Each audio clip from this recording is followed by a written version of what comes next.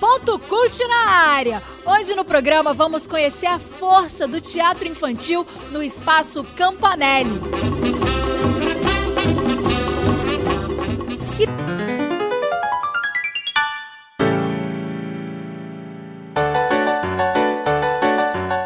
É assim, como em um passe de mágica, que Rodrigo conquista muitos olhares atentos, cheios de expectativas.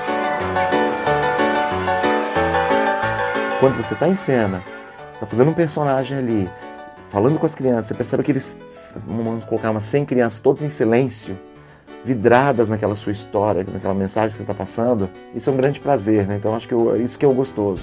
Maquiagem, figurino, texto e palco são as ferramentas que há 20 anos Rodrigo usa para levar as crianças a um mundo de fantasias.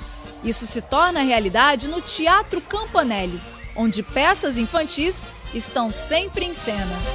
Passou da porta da rua para dentro do Teatro Campanelli, você já embarca num mundo diferente, um, né, um mundo, vamos dizer assim, um mundo dos contos de fada. Essa é a nossa principal, é, principal importância, principal interesse que a gente tem.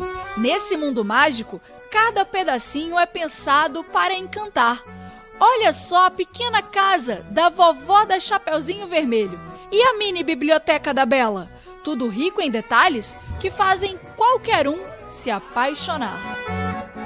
Eu adoro ver teatro, eu gosto de muito de teatro e eu sempre quis fazer teatro. A criança está muito aberta a isso. Ó. Quando você faz a coisa bem feita, ela presta atenção. Né? A verdade para a criança em cena, ela capta muito rápido e presta atenção e vivencia isso com a gente. Que assim, eles estão se esforçando para mostrar o melhor que eles fazem, tipo, mostrar o que eles sentem, o que eles mostram do que eles estão fazendo ali. Quando a cortina se abre, o palco cresce.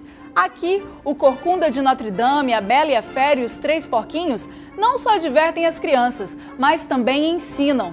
O palco, então, se transforma em uma passagem para um novo mundo o mundo do conhecimento.